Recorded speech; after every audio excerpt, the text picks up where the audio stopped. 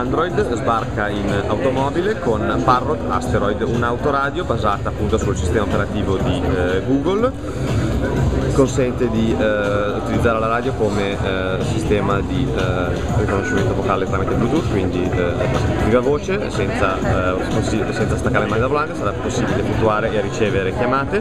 Qui abbiamo ad esempio la nostra lista di contatti eh, prelevata dallo smartphone via Bluetooth. Funziona ovviamente con tutti i tipi di smartphone, sia, sia iPhone che Android, ma anche con telefoni normali che supportino queste funzioni via Bluetooth. Abbiamo ovviamente la classica radio FM, è possibile controllare controllare i dispositivi come lettore MP3, ad esempio in questo caso abbiamo un iPod Touch collegato eh, nella parte inferiore Abbiamo la possibilità di controllare la musica da USB oppure da scheda SD integrata o ancora da ingresso di linea. Abbiamo anche una serie di servizi internet eh, fruibili grazie a una eh, chiavetta eh, 3G di un, di un, qualsiasi operatore collegabile tramite USB oppure eh, sfruttando la connessione dati del proprio smartphone condivisa attraverso eh, Bluetooth.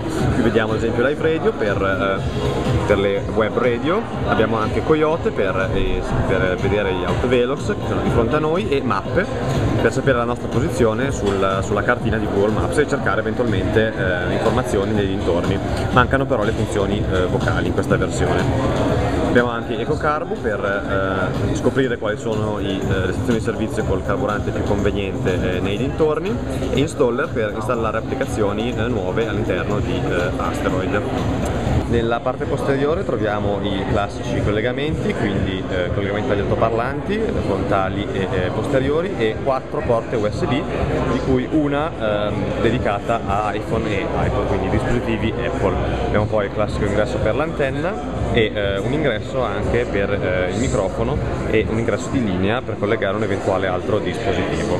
Come vediamo la radio è eh, estremamente compatta, quindi porta via poco spazio all'interno dello slot per la radio e di conseguenza è possibile anche eh, lasciare collegate delle chiavette USB direttamente alla porta posteriore senza eh, sforare nella, nella plancia. L'autoradio eh, Parrot Astro sarà disponibile sul mercato a partire da maggio.